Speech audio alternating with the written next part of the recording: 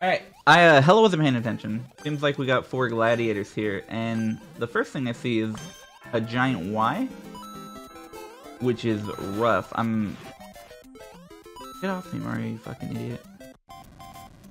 Mario, how stupid, dumb fuck can you be? I'm pushing you. Mario, I would... You jump, you jump now.